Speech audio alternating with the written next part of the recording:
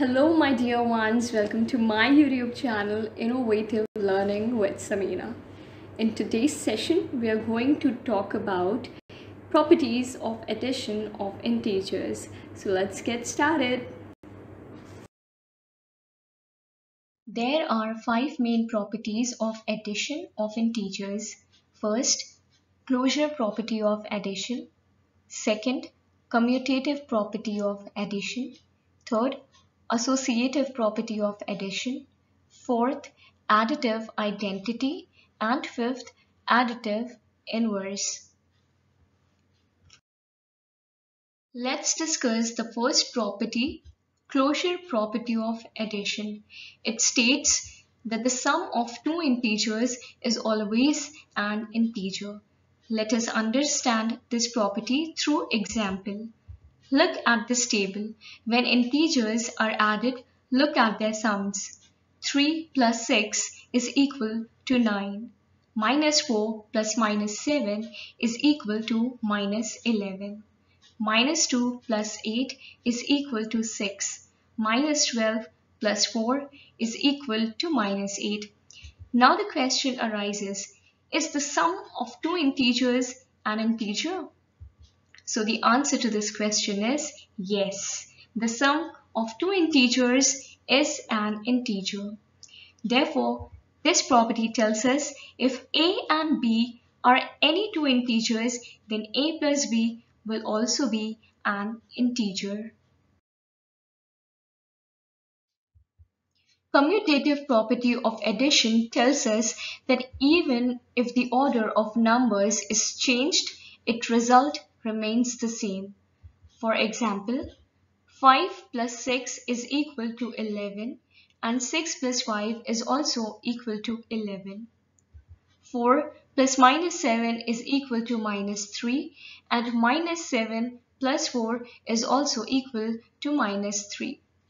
As you can see, I have changed the order of the numbers, but still the result remains the same. Therefore, this property tells us that if a and b are any two integers, then a plus b is equal to b plus a. Associative property of addition states that the way of grouping of numbers will not change the result. For example, for adding numbers 5, 6 and 4, I first grouped 6 and 4 then added 5 to the result of 6 and 4 that is 10. So 5 plus 10 is equal to 15. Then to add the same numbers I grouped 5 and 6 first and then added 4 to the result of 5 and 6. That is 11 plus 4 is equal to 15. So in both the cases, I grouped the numbers in different ways, but still my answer remains the same. Let us take another example. To add numbers minus 2, minus 3 and minus 5, I first grouped minus 3 and minus 5 and tried to solve the equation where I got the result as minus 10. Same equation I tried to solve by grouping different numbers this time, minus 2 and minus 3. And I got the same result as minus 10.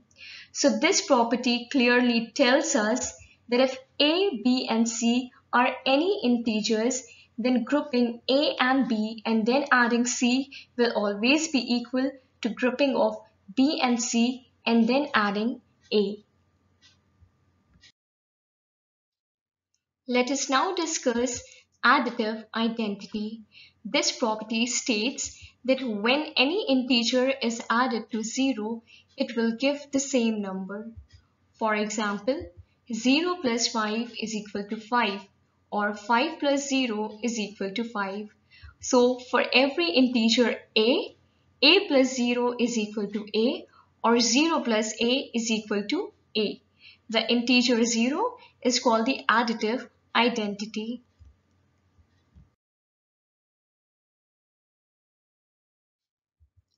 Additive inverse property states that if any number is added to its opposite number, the sum should be 0. Look at this example. Let's say a is equal to 5. So the inverse of 5 is minus 5. When these two numbers are added together, we get the result 0. Therefore, for every integer a, there exists an integer minus a, such that a plus minus a is equal to 0 or minus a plus a is equal to 0.